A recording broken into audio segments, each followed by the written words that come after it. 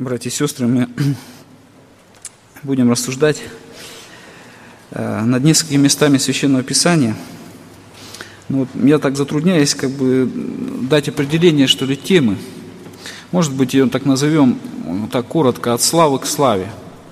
Место прочитаем из второго послания Коринфянам, 3 главы, 18 стих. Мы же все открытым лицом, как в зеркале, взирая на славу Господню, преображаемся в тот же образ от славы в славу, как от Господня Духа. Знаете, друзья, тема такая, слава, это очень обширная. Мне даже затруднительно, как бы, что сказать, что всю ее охватить. А, это, наверное, невозможно, даже не, не то, что в в одной проповеди, но и в целом общении, может быть, и даже, может быть, всю жизнь, если бы мы попытались только о славе Божьей поговорить, то эта тема необъятная. И как-то эту тему нужно немножко, так, так сказать, сузить. И, и мне хотелось как именно поговорить о, как мы отражаем в нашей жизни славу Божию. Можем ли мы отражать эту славу Божию? Вообще это цель Бога и желание Бога, чтобы в нас отразить свой образ – я думаю, что здесь мы находимся не случайно. И каждый из нас призван э, и от этого мира, э, ну не просто для того, чтобы, так сказать, ну, просто спасение обрести, но желание Бога и для того, чтобы в нас отразилась Его слава, Его образ. Он нас, над, над нами так работает, чтобы мы из людей, которые носят образ мира сего, сделать людей, которые будут носить образ славы Божией. И в этом цель была и нашего призвания. Ну, я хотел, а, так сказать, по порядку. Здесь написано, что а, взирая на славу Господню, преображаемся в тот же образ от славы в славу. Взирая на славу Господню. Где мы можем увидеть вот эту славу Господню? То есть здесь написано конкретно «взирая». То есть мы куда-то должны смотреть, на что-то смотреть.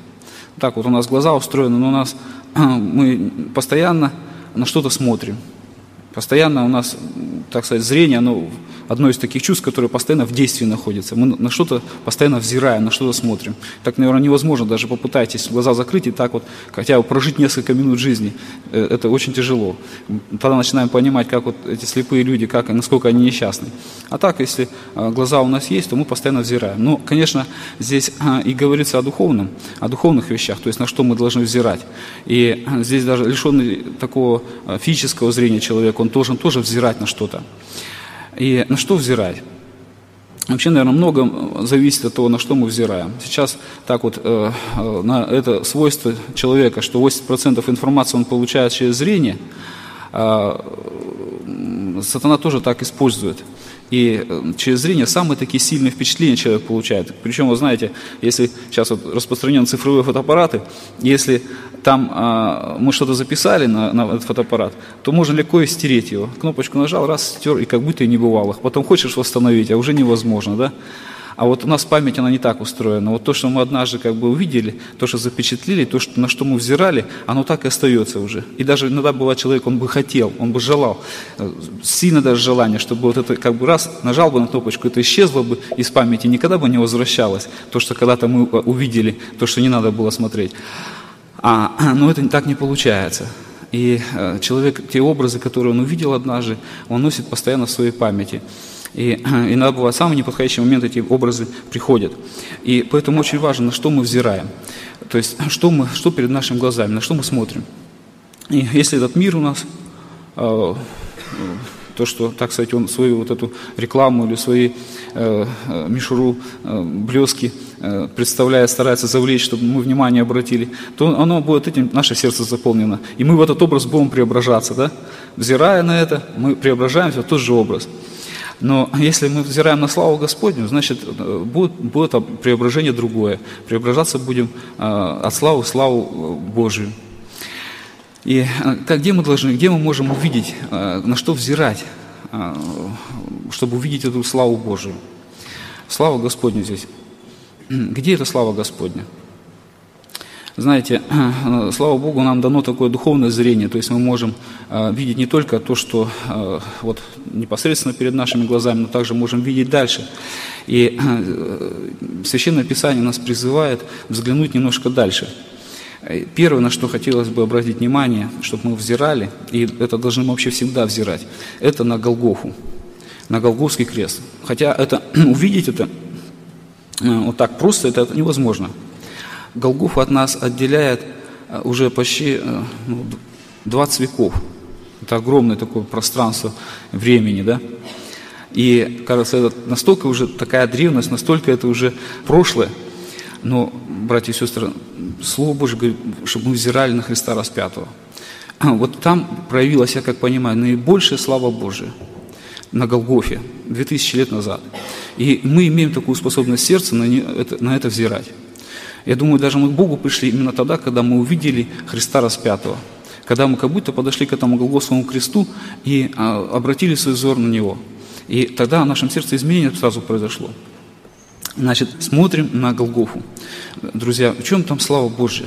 Ну, вообще, можно сказать так, сосредоточие вообще славы Божьей. То есть все, что а, Бог в чем славен, конечно, мы Ему славу воздаем как Творцу, как Создателю. То, что Он весь мир сотворил, насколько все прекрасно, совершенно, насколько природа, все мироздание так устроено чудесно глядя на это, мы тоже должны славу Богу воздавать, да? Как написано, что они, познавшие Бога, не прославили его как Бога, видя это творение, видя все а, мироздание, но не прославили Бога, там говорится об этих язычниках, и Бог предал их превратному уму, то есть они, они не видели славу Божию в окружающем мире. Но это только часть Божьей славы. И Бог а, проявил себя многократно, многообразно через пророков, которые наставляли этот заблудший мир, заблудших людей вернуться к Богу э, на древние пути. И тоже, насколько читаю Священное Писание, насколько чудесное было, насколько славное их служение, какие прекрасные плоды были а, от проповедей. Но э, это еще тоже только часть славы. Но вот когда в мир пришел единородный Сын Божий, э, Иисус Христос, и когда Он а, принял на себя грех всего мира и пошел добровольно на смерть, на распятие, вот здесь в полноте явилась слава Божия. То есть Бог проявил себя так, как Он есть. Я, кстати, не дал определения, что такое слава. А, в общем-то, определений много существует, но самое такое короткое, простое может быть. Слава – это известность по качествам, по каким-то качествам. То есть, ну, она может быть разного рода слава. Может быть добрая слава, может быть дурная слава. То есть, если известен какой-то человек, какая-то у него характеристика есть, она так широко известна, он уже, он уже имеет какую-то славу. Но вот в чем слава Бога? Известность Его по качествам, то, что, в чем проявил Бог себя. И на Голгофе, в Иисусе Христе, при вот этой а, жертве, и Бог проявил себя во всей полноте, то есть во всей своей славе, во всех своих качествах Бог проявил. И мы видим, взирая на Голгофу, мы видим Его любовь, Его милосердие, Его а, жажда прощения людям. Когда мы видим образ страдающего Агнца Божьего, мы воздаем славу Богу. Я думаю, когда у нас какие-то моменты случаются, переживания, уныний, трудностей в жизни, на что мы будем взирать? Э, для меня лично всегда таким утешением, исцелением является вот этот взгляд на Голгофу. Так вот, унывая или, или переживая, думаю, неужели я, когда посмотрю на Голгофу, неужели мои страдания, они больше, чем а, а, Сына Божия? Не может быть такого. Он страдал больше, страдал за меня, страдал за весь мир, а я унываю из-за каких-то таких вот мелочей и взирать на Голгофу. Мы преображаемся в тот же образ, братья и сестры. Это, может быть, не происходит как-то так, но ясно, очевидно. Воздавая славу Богу, взирая на Голговский крест, мы преображаемся в тот же образ, ту же славу. Так, обратил внимание, когда у нас какие-то переживания, и есть желание как-то быть ближе с Богом, мы часто вспоминаем какие-то христианские гимны. Не знаю, у всех так или нет. Но э, я сам не певец такой, но вот у меня часто так бывает в сердце, что, э, может быть, когда никто не слышит, чтобы так Бога, Бога воспеть. Но вот я обратил такой момент, что замечаю, что часто у меня почему-то э, выбираю такие гимны или псалмы, которые воспевают не Бога, а мои чувства. Вот у меня тоска на душе, вот еще там что-то. И вот как бы воспеваешь свои чувства. Но от этого, по-моему, только э, как будто бы еще эта тоска больше становится. А потом я обратил внимание в Ветхом Завете, там, когда служение в Иерусалимском храме, там описаны вот эти вот левиты, которые учились воспевать Бога. И вот я обратил внимание, что они воспевали не свои чувства, не свои переживания, они воспевали Бога. Причем делали это день и ночь. Вот, ну, днем понятно, что там в храме посетители, там слушатели есть, и вот они Бога воспевают Богу, ну так вроде бы как бы вот левиты, хор такой там, представьте себе, там несколько сотен, наверное, этих левитов было, как они Богу, какую хвалу воздавали. Э, ну, понятно, тут можно и, так сказать, э, ну, прилюдно э, как-то на глазах людей стараться, все, да.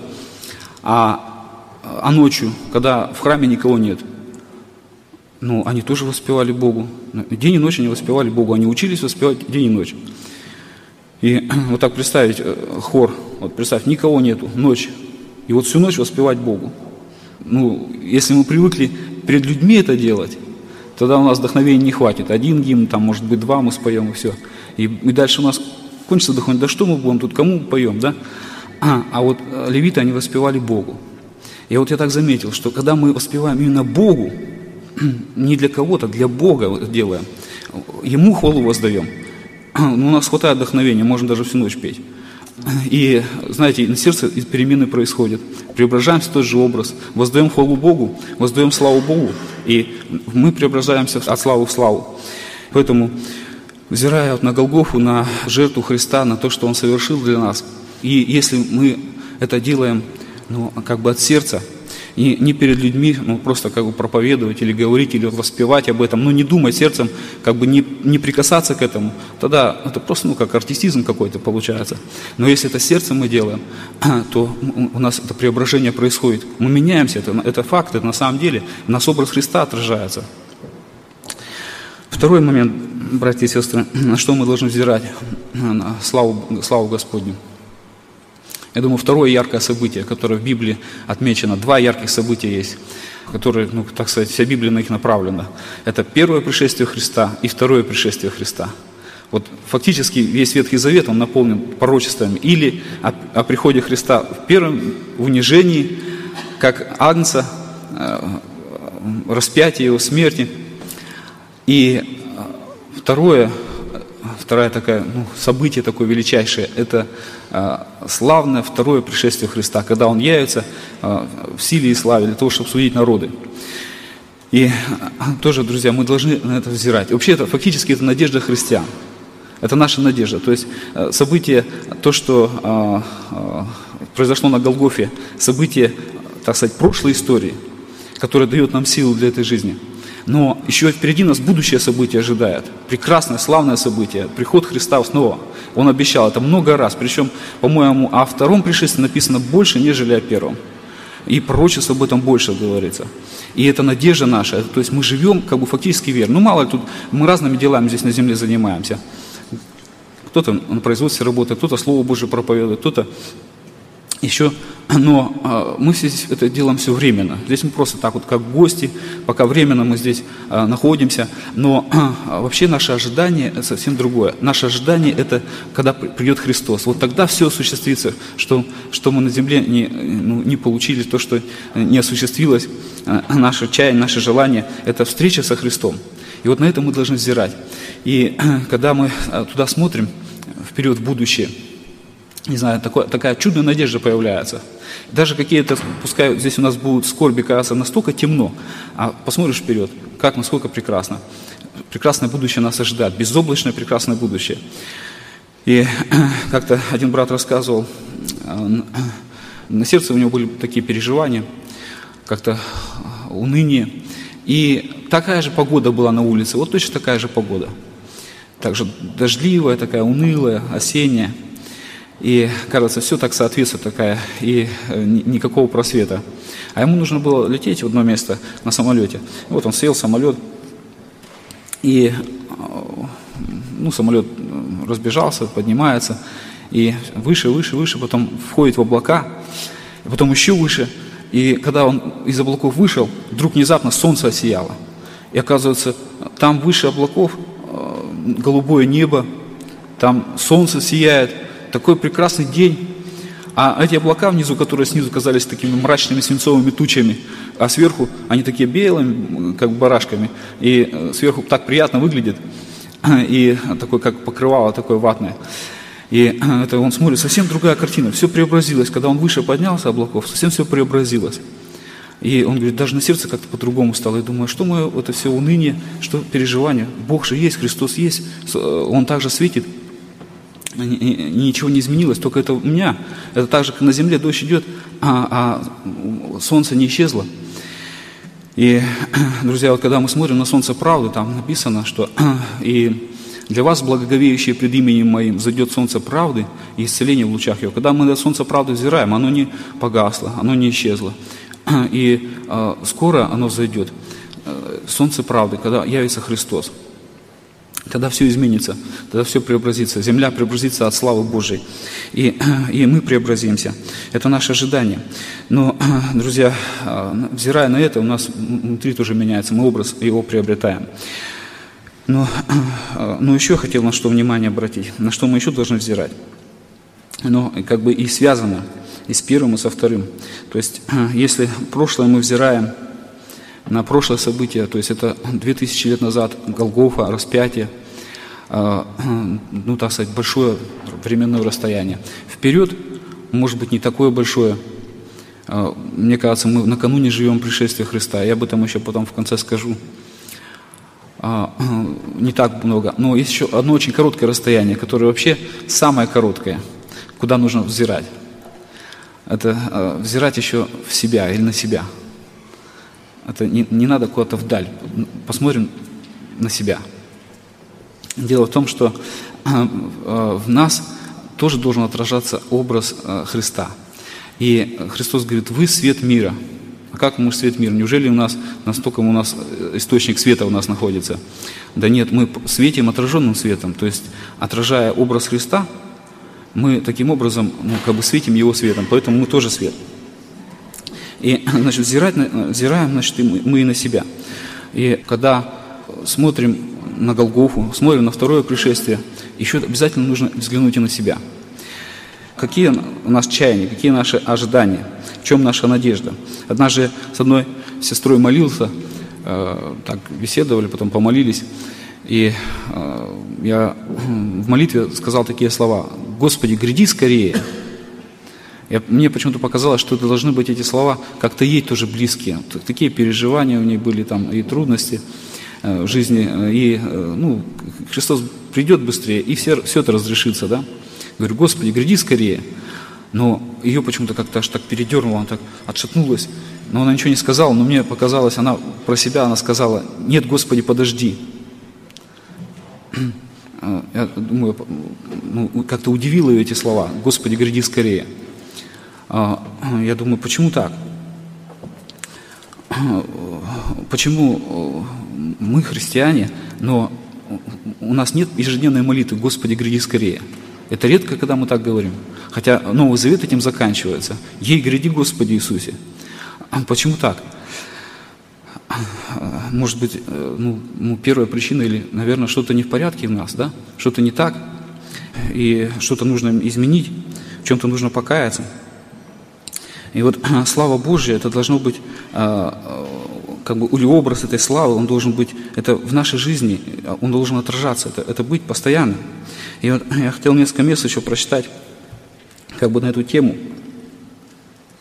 Одно место – это 2 Петра 1.3. «Как от божественной силы Его даровано нам все потребное для жизни и благочестия через познание призвавшего нас славою и благостью». Хотя это, это, так сказать, в контексте нужно читать, но хотел на слова обратить «призвавшего нас славою и благостью».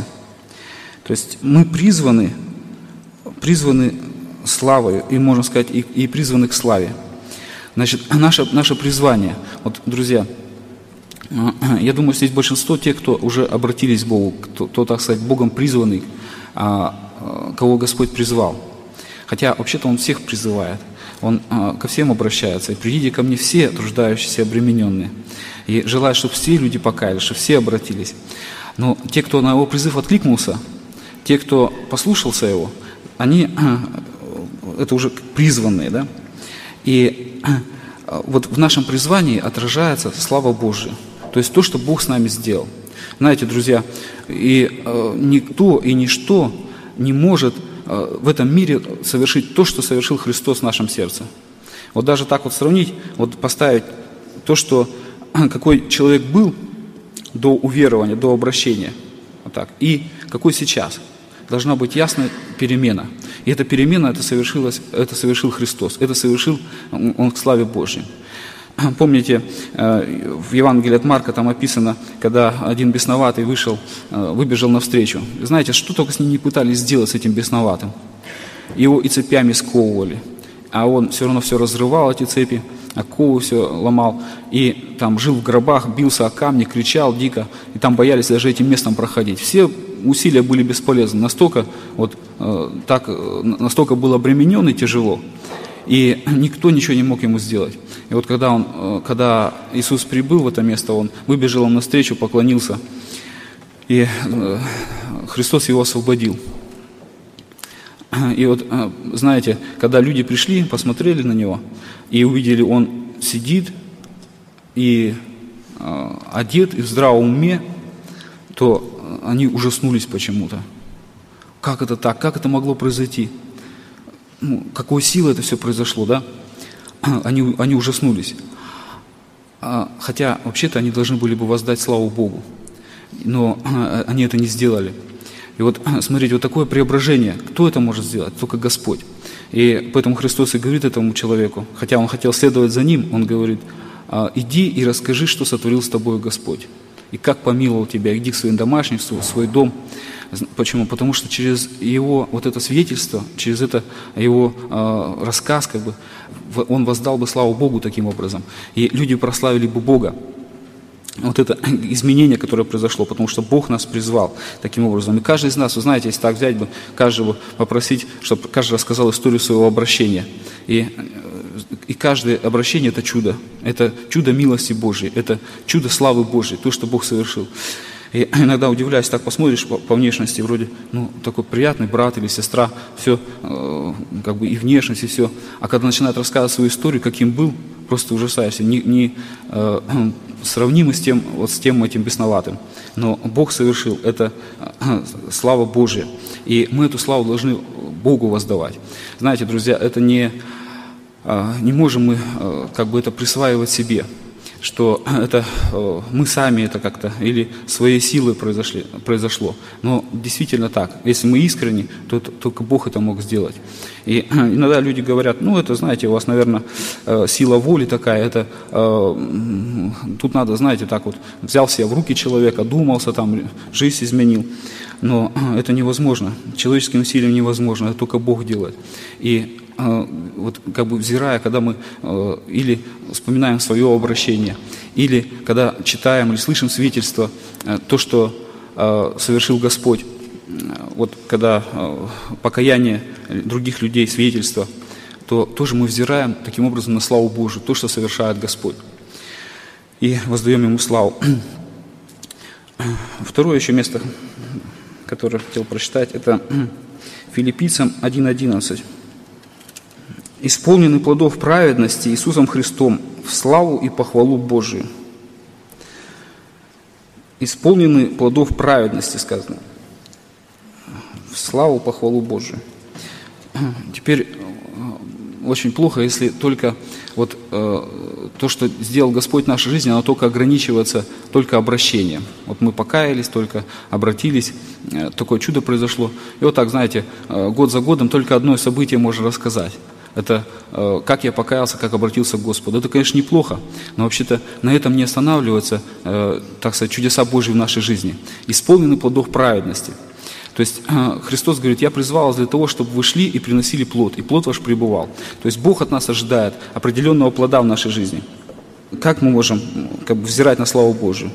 А вот, знаете, когда мы, ну вот книга хорошая, «Подражайте вере» их называется, да?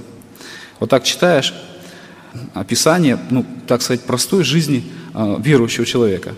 И что Бог в его жизни э, произвел, какой плод при, они принесли. И поражаясь, то есть воздаешь славу Богу. То есть зависит много от того, что мы, как бы, вот, на что мы взираем.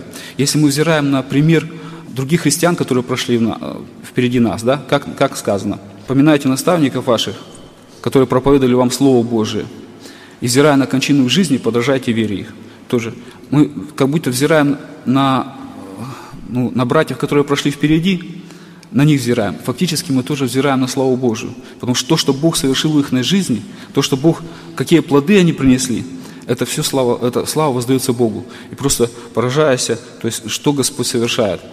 Э, один брат-узник за веру ну, он говорит, я, говорит, не, я не знаю, я, говорит, это, это то, что в моей жизни произошло, это слава только Богу. Это Бог только совершил, никто иной.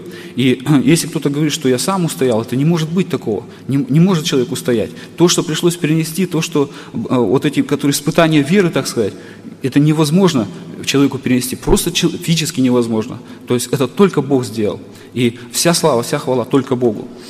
И э, мы, так сказать, взирая вот на тех братьев или героев веры, те, которые прошли впереди нас, может быть, еще и, и, не только вот прошедшего поколения, еще и, и древности, вся история церкви наполнена такими вот событиями. Мы тоже преображаемся в тот же образ. У нас желание появляется тоже так же служить Богу, плод приносить для Господа. То есть на что мы взираем. еще одно третье место хотел прочитать. Это 2 Коринфянам 3.9. Ибо если служение осуждения славно, то тем паче изобилует славою служение оправдания. Изобилует славою служение. Еще одно, где проявляется слава Божия, это, конечно, в служении. То есть Бог нас призвал для того, чтобы мы могли и для других, э, другим людям нести Слово Божие. И вот это служение, оно тоже славное. Братья и сестры, надо сказать, что а, не только как бы прошлая история, она отмечена вот такими подвигами героев веры. Сейчас, знаете, мы живем в очень такое интересное время. Вообще каждое время оно такое специфическое. В каждом времени э, для христианина э, свои определенные трудности свои, и свои благословения. И нам Бог так э, усмотрел, чтобы мы родились и жили именно в это время, чтобы Бог нас призвал в это время. И, знаете, иногда кажется, ну, что сейчас, время такое свободы, вроде бы время благоприятное. Э, и э, люди э, верующие часто ну, свой взор обращают на, не на служение, на что-то иное. Ну, может быть, где-то сейчас как бы современно или модно, или как бизнес и прочее, вот, чтобы материальное облагощение здесь на земле, так сказать, устроиться получше. И на это все внимание, на это взор обращают, на это все. Но, а, знаете, Бог все-таки призывает, чтобы мы обращали внимание на служение. Сейчас тоже очень много возможностей для того, чтобы приложить свои силы, для того, чтобы послужить Богу и получить а, обильное благословение. И вот когда мы, а, это славное служение, когда мы проповедуем Слово Божие, но нет ничего более на земле ценного. Я, я понимаю, нет никакого более другого рода э, ну, работы или какой-то деятельности, которая имеет большую славу, чем проповедь грешникам о спасении. И, и, наверное, может быть, слышали этот пример он распространенный, э, это, кажется, Ульям Керри, который э, в, в Китае был проповедником, и, кажется так. И вот он для того, чтобы, чтобы китайцам проповедовать, он тщательно учил китайский язык. И настолько достиг совершенства, что в этом языке, ну, что полностью никакого преграды вот этой языкового барьера не было и он им проповедовал э, этим китайцам. Ну, может быть, не было, так сказать, какого-то такого сначала явного успеха, и к тому же э, содержание э, денежное, которое он получал из Англии, оно было с перебоями шло, он часто нуждался, и средств не хватало. А в это время там одна английская фирма искала ну, переводчика, чтобы переводить эти деловые документы, коммерческие там, договоры, сделки. И они услышали об этом человеке, который англичанин, но в совершенстве знает китайский язык. И к нему, к нему пришел представитель, который э, э, ну, сделал ему такое предложение, что переходи к нам работать. Э, и мы обеспечим вам достойную э, зарплату. И назвал ему сумму, которая в 10 раз превышала его содержание, которое он получал от миссии, да еще и к тому же еще нерегулярно. Ну, он выслушал это предложение и подумал и отказался. Но тот представитель очень удивился. Ну как так? Такие средства, такие, ну, такая, такие деньги. И, это, и, и не, не может понять его отказ. Говорит, в чем дело? Может быть, э, сумма недостаточно большая? А, а он, он ответил, вот миссионер ответил так, что сумма-то большая, а вот дело-то маленькое. Дело-то слишком маленькое. И, вы знаете, то есть он э, избрал то дело, которое имеет большую славу, а, славу вечности, служения. И это служение, это славное, братья и сестры. Но в этом служении а, мы, может быть, сегодня будем немножко рассказывать, конечно, а, и а, сейчас вот тоже есть труднодоступные места, где ну, нуждаются в миссионерах и все. И это Бог ждет и нас, и, и вас ждет там на, на этих миссионерских полях, чтобы трудиться, чтобы там вот это славное служение было. Только есть еще одна опасность, что присвоить эту славу себе тоже. И, и частые люди, они же не видят, ну, как бы Бога, чтобы ему воздавать славу. Один раз мы проповедовали, ну, беседовали, точнее так сказать, в одной семье, пожилые муж с женой. И так пригласили, мы с одним братом пришли побеседовать. Они такие образованные, э, грамотные. Он бывший директор школы или училища. Э, и уже на пенсии, так пожилой. И так с ним беседовали, мы несколько часов, так, разные вопросы так серьезные были, и э, так, так хорошо побеседовали, ну и так уже прощаться. Вроде бы как казалось, что и Слово Божие касается. А, а потом жена уже нас провожает, и, и, слезы на глазах так вот, э, и э, плачет. Ну, думаю, наверное, Слово Божье так коснулось. Но а когда прощались, она говорит, молодцы ребята, есть, на таких, как вы, стоит Россия – Я это подумал, ну вот мы проповедовали, говорили, но, а, может быть, мы как-то все-таки не, а, не смогли показать Христа. Не смогли, так сказать, ну, чтобы славу Богу воздали. Причем здесь эти ребята? Мы хотели о Христе рассказать, хотели, чтобы Христу вся слава была, но они увидели только нас. Ну, может быть, это и наша, наша вина какая-то была. Сейчас вот мы были в Тафаларии, и А, тоже проехали на лодке э, в те места, где еще вообще ни, ни разу никто не проходил на, на лодке. Ну, это там такие пороги серьезные. Э, ну, там вечером там и слайды будут показаны, все. Настолько сложный путь, и никто ни разу никогда не проходил. Ну, мы сделали попытку, как бы, как э, в плане как разведки. И когда мы к Алакжеру приблизились, там люди вышли, сначала там дети, потом постарше, подростки, потом молодежь, потом взрослые подходили. И так все подходят, все удивляются, все головой кивают, даже возле лодки фотографировались и говорят, вы первые, вы первые. Никто еще ни разу не проходил здесь на лодке. Это вы первые с города здесь, сюда пробрались. Ну, это то есть за много лет. И это и думаю, что какая-то слава, то есть она, она обязательно распространится, она будет известна, может на всю Тафаларию будет известна. Но, но думаю, ну как хорошо, если бы эта слава, чтобы они поняли, что это ради имени Иисуса Христа было сделано, что не просто вот так мы как экстремальный спорт какой-то решили так э, пройти, э, значит, показать, что мы можем, на что-то способны или что-то такое. Мы это делали ради Господа. И хорошо, если быть у людей эта слава так она осталась, что это, это христиане, это ради Христа они сделали, чтобы посетить своих верующих они это сделали, чтобы славу Богу воздавали. Но вообще так это легко, это присвоить себе. Но, друзья, и, а, то есть взирая также и а, служение, славное служение – если мы это, этому жизнь свою посвятим, никогда, никогда не пожалеем, никогда не, не, не испытаем разочарования, потому что это славное служение, оно и преизобилует славой написано. И это, это слава, причем она не какая-то временная здесь, что медаль повешали на шею, а потом время прошло и всеми забыт. Но это, это, это слава, она, которая в вечности имеет, имеет значение. То есть это дела, которые имеют значение для вечности. И а, взирая на, на славу эту, мы преображаемся в тот же образ. И, друзья, э, еще хотелось так уже, можно сказать, э, ну, как бы ближе к заключению, сказать, хотел о будущей славе, то есть то, что ожидает нас в будущем. Слава церкви, потому что Христос говорит, хотел бы представить себе славную церковь, не имеющую ни пятна, ни порока. То есть славную церковь.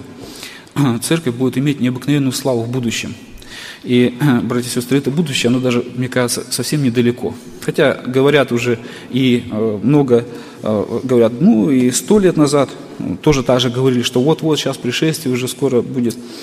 Но если сто лет назад говорили, ну, значит, тем более сейчас ближе. И э, даже и написано, что с тех, некоторые наглые ругатели, что с тех пор, как начали умирать отцы, от начала творения все остается так же. А, да нет, все-таки не все остается так же. Это может быть на поверхностный взгляд. Может быть, мы так живем, внимания не обращаем сильно. А знаете, это на самом деле мы живем настолько последнее время, что вообще-то в любой момент может быть славное пришествие Христа, и церковь будет восхищена Господом на воздухе. Это в любой момент, это не преувеличение какое-то, это любой момент.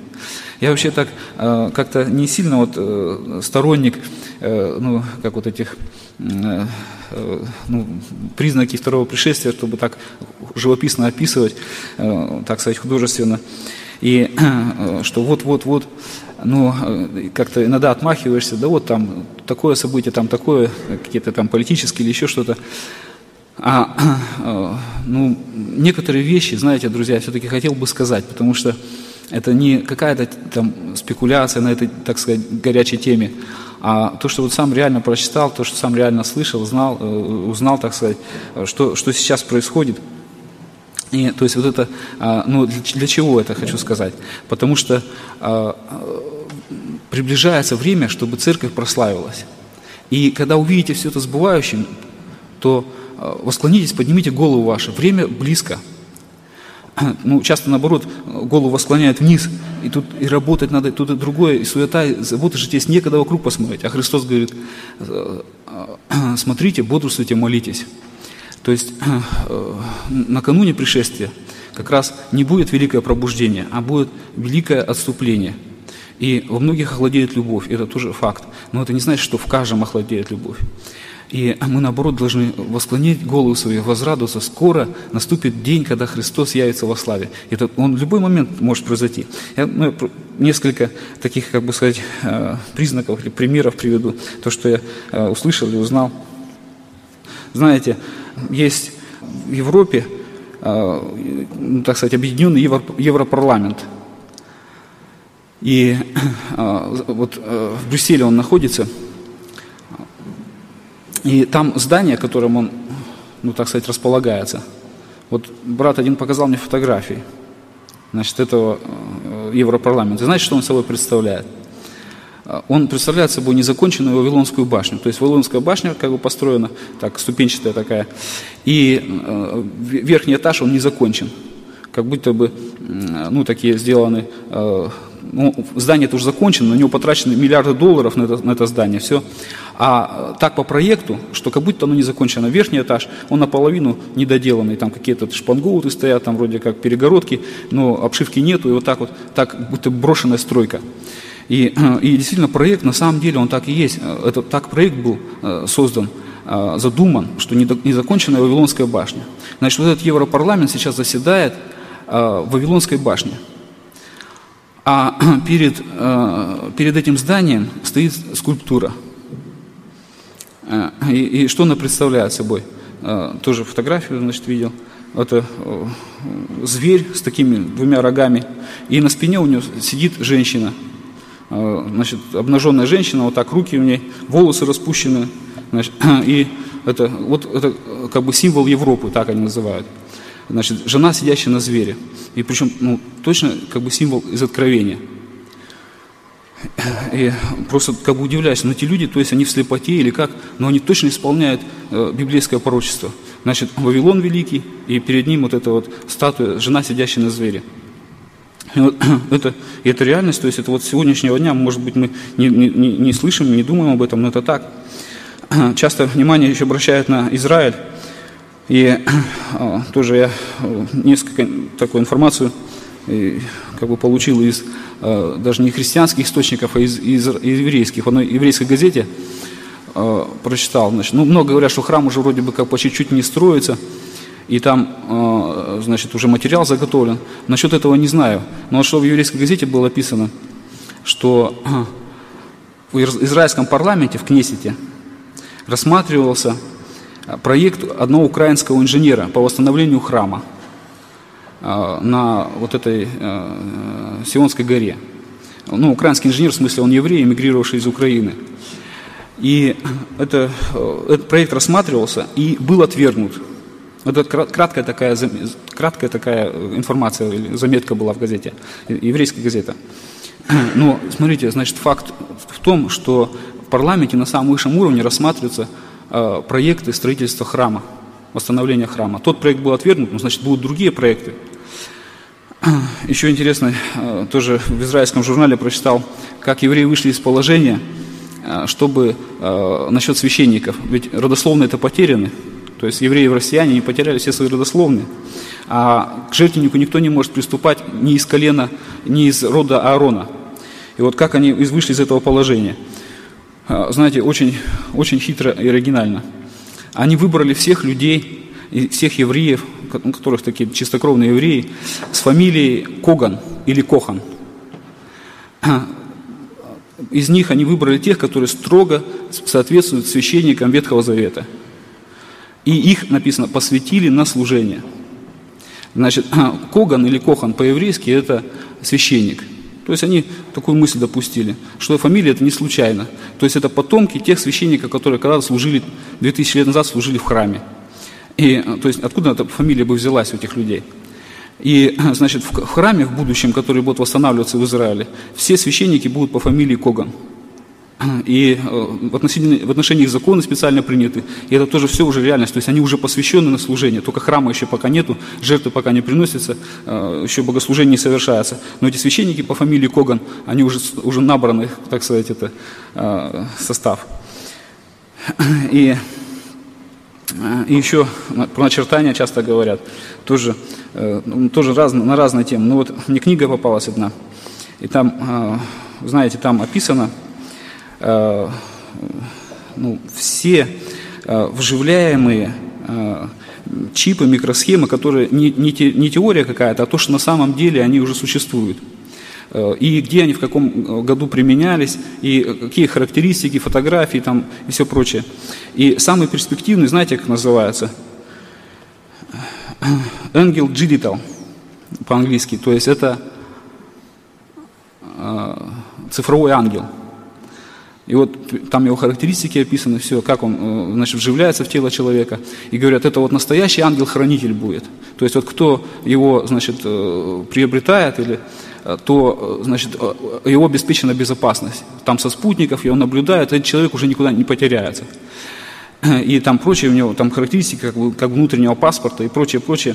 И это, и это не то, что как бы какая предположения какие-то, а это идет полным ходом. То есть это стоит большие деньги, и целые очереди стоят на то, что на вживление этого чипа. И это, это сейчас оно имеет распространение и все расширяется. То есть это э, э, как бы э, реальность сегодняшнего дня. То есть эти уже, так сказать, цифровые ангелы, они уже в полном, в полном ходу, и тысячи, если не миллионы людей, они их уже получили, приобрели. Но все это, знаете, это, как бы сказать, это только, можно сказать, капля в море тех событий, которые происходят. И причем они меняются с калейдоскопической быстротой. То есть не успеваешь одно, второе, третье. И Христос говорит, что посмотрите, когда все это увидите сбывающее, восклонитесь голову ваши, потому что близко избавление ваше. И, и поэтому я повторюсь, то есть в любую секунду может произойти а, пришествие Христа за своей церковью. И вот что нас ожидает? Конечно, друзья, ожидание, а, оно вообще всегда утомительное в какой-то мере, да, ожидание. Но ожидание, оно может быть разным. Ожидание может быть разным. Вот представим такую картину ожидания. Вот мы ждем гостей, время уже приближается, вот 7 часов вечера, сейчас должны гости прийти. А у нас ничего не готово. На стол не приготовлено, там суп еще только варится, там э, дома беспорядок еще. И мы ничего не успеваем. Мы, начинаем, ну, мы суетимся, мы стараемся успеть, но время уже неумолимо, стрелка приближается э, к семи. И вот э, сейчас должны прийти гости. И какое чувство тогда? Мы в ожидании находимся. Но какое чувство возникает? А, да хоть бы они задержались, да? Ну, хоть бы они на 15 минут хотя бы задержались, я бы, может быть, еще успел, да? Или я бы успела. Или другой вариант ожидания, когда а, у нас все приготовлено, стол накрыт, чистота, порядок, все, все уже есть и даже остывает. Все, значит, мы ждем гостей. И вот время подходит к семи, и у нас тоже ожидание. Но какое, какое ожидание? Мы думаем так, ну, скорее бы пришли, Скорее вы пришли, вот хоть, может, хоть, хоть даже сейчас. У меня все готово, я жду. Вот видите, в том и другом случае ожидание, но в том и другом в сердце разное состояние. Хоть бы они задержались, или хоть бы они скорее пришли. И также вот и э, здесь, в ожидании Христа, Для одних это ожидание, оно, ну хоть бы он замедлил. А как один молодой человек, он говорит так, папа, ты не, не переживай, я все равно к Богу приду. А, ну, папа говорит, ну, как не переживать? Время-то коротко. Да, я еще приду к Богу. Вот так вот, э, ты не переживай. А, ну, и, знаете, это, это не утешение для отца. Если отец верующий, а сын, э, он э, живет без Бога, это не утешение. Я приду. Вот сколько так людей они говорили, что я еще успею, я еще приду. А, а времени у них не оставалось. И Христос, он, я думаю, что не будет задерживаться из-за того, что кто-то обещал, но так и не пришел. А он придет, когда наступит полнота времени, назначенный час, он придет, придет за церковью. И вот, братья и сестры, я хотел еще последнее сказать о славе, то есть, которая нас ожидает, эта слава, а, а, слава э, во Христе или слава церкви. Знаете, еще никто никогда не видел такой, такой славы. Ни, ни, нигде и никогда. Богом предусмотрена церковь, как прекрасное творение во всей Вселенной. Ничего более прекрасного нету, ничего более совершенного нету. Но, братья и сестры, церкви никто никогда еще не видел. Никто никогда церкви еще не видел. Знаете почему? Потому что вот то, что мы собираемся, ну вот поместная церковь там Абаканская или Братская, или, это, э, ну, это только часть, это маленькая часть церкви. И, и на земле совершенства нету, конечно. А, а почему ее никто не видел, всю церковь? Ну, во-первых, есть а, души, которые уже успокоились от, от дел своих. Вот начиная со времен апостолов до последних э, мучеников наших дней, да, сколько уже христиан закончили свой э, путь христианский и э, вошли в обители Отца. Но я думаю, что многие-многие миллионы. Но мы их никогда не видели, и до самой встречи с Господом на воздухе мы их не увидим. Второй момент. Мы разделены еще расстоянием. Вот сейчас на Земле, я тоже думаю, что многие тысячи, может быть, даже миллионы христиан, мы не знаем их, их число, а, но где-то в Африке, где-то в Америке, там тоже есть христиане, возрожденные, верующие, а, принадлежат Церкви Христовой. Но мы их не видели никогда и никогда не увидим на Земле потому что мы разделены расстоянием. Может, максимум, кого мы знаем, это может быть тысячу человек, тысячу верующих. Вот и все, наверное. Больше мы навряд ли кого знаем. А, а всех остальных, которые тоже в наше время живут сейчас на земле, но мы их не видим, мы их не знаем. И еще третья категория – это те, которые, возможно, они еще не родились. У Бога они есть, Бог их знает, но на земле даже их родители еще не знают, что у них будет ребенок, который станет христианином, и будет принадлежать церкви. Возможно, если Бог продлит время благодати, возможно. Они еще не родились. Но представьте себе, что когда наступит момент, когда Христос придет за своими, это будет мертвые во Христе воскреснут прежде, потом мы, оставшиеся живых, будем восхищены Господу на, воздухе, на воздухе, и так всегда с Господом будем. И вот вся эта церковь всех прошедших времен – и нынешнее живущее поколение, все соединятся, и, и а, одна великая славная церковь появится. И знаете, вся земля осветится от ее славы. Эта слава будет необыкновенная. Это самое прекрасное творение во всем мироздании будет. Церковь Иисуса Христа, невеста Христова. И уготован был для нее, одета была весон белый чистый, весон есть праведность святых. Вот эта церковь, которая будет сиять, как звезда – прекраснейшее. И вот это удивительное, это чудо будет, вот эта слава, которая, которая наполнится вся Вселенная, слава Церкви. Вся, все мироздание ахнет, удивится, изумится. И просто удивительно будет. Но все, что сейчас, вот, что перед людьми ценно, все превратится в прах. Помните, вот в книге Даниила, вот тот истукан, который э, стоял в таком, в таком величии, золотая голова, серебряная грудь, там бронзовый у него э, э, живот и э, стальные ноги у него были такой, в таком величии стоял. И вот камень ударил, без участия рук человеческих, в эти ноги. И рухнул этот стукан, все смешалось, превратилось в прах, и ветер развеял. И вот чем люди живут на земле, вот эти идеологии всевозможные, вот эти государства, структуры управления, человеческие, что люди, миллионы людей чему служат и на что надеются, такую силу, кажется, имеет. Все это рухнет, превратится в прах и рассеется. А то, что казалось ничтожное, то, что казалось ничего не значащее, которое никакой славы на земле не имело, оно приобретет славу вечности. Это как в притче Христос говорит, когда это маленькое зерно, которое э, меньше всех, это зерно горчичное, меньше всех семян на земле, да? А когда вырастает, становится огромным деревом. И вот так, друзья, самое маленькое становится самым огромным. Вот это чудо. И а, вот эта церковь будет. Вот что сейчас она представляет собой, что она значит? Ну, я думаю, даже ни, никакой летописец не обратит внимания на, на, на вот нас там группочка, там группочка, там. Что он значит в истории человечества, в истории цивилизации? Ничего не значит. Но вот это, кажется, ничтожное, оно превратится в самое великое. И слава церкви, она будет навсегда, на всю вечность. И, друзья, вот эта слава нас ожидает, поэтому у нас слав, очень славное будущее. Но хотелось бы, чтобы мы здесь на земле эту славу приобрели, потому что так написано, что там в этой церкви мы и будем занимать, а, а, ну, как бы, соответственно, славе, которую мы приобрели здесь. То есть а, как иные воссияют, как солнце, как луна, иные, как звезды, и звезда от звезды разнится в славе. То есть, соответственно, как мы смогли отразить образ Христа здесь на земле, как смогли в его образ, в эту славу преобразиться – Настолько будет эта слава вечности. И, друзья, для нас приготовлена такая великая честь, такая великая слава. И просто, ну, так сказать, мне не хватает никаких, никаких слов, ничего, но представить, что, что я буду какой-то вот там маленькой клеточкой, но в, это, в этом славном э, теле Христова, в, в невесте Христа, в церкви. И каждый из нас, братья и сестры, будет это, э, эту славу э, иметь. И, э, ну, еще один хотел момент – как-то обращ... в книге Откровения, как-то часто я люблю читать книгу Откровения, часто так читаешь, вроде поверхностно, не обращаешь внимания. Помните, там есть такое место, когда 24 старца у, престола Агнца. И я обратил внимание там, что они написано, повергают венцы свои перед престолом и говорят, достоин ты, Господи, а, принять а, честь и славу.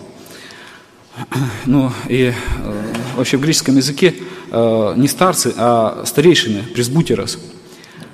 И э, значит, вот эти старейшины, которые являются представителями церкви, как я понимаю, как собирательный образ, может быть, церкви, не знаю, они повергают свои венцы перед престолом.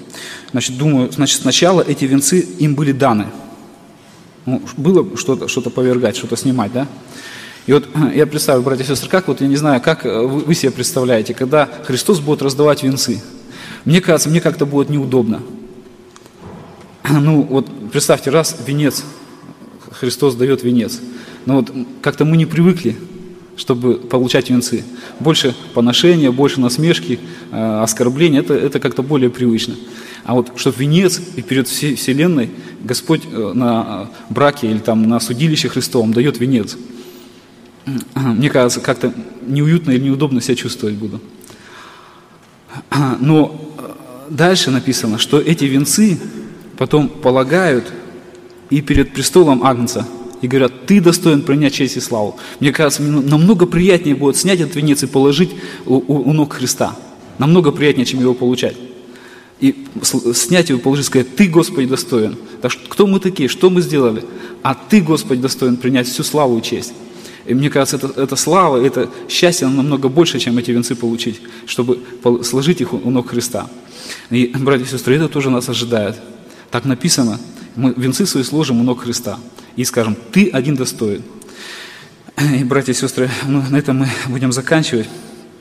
И хотелось бы так, чтобы мы все об этой славе ну, размышляли, взирали на славу Христа, то есть на Голгофу, на второе пришествие Христа, на славу, которая открывается через обращение грешника, на славу, которая через жертвенную жизнь, через плоды, через а, а, даже смерть некоторых святых, через славу, на славу, которая открывается через а, служение, и нынешнее даже служение, это славное служение проповеди Евангелия до краев земли, чтобы мы были готовы к пришествию Христа, чтобы там уже с Ним войти в вечную славу. Будем молиться. Аминь.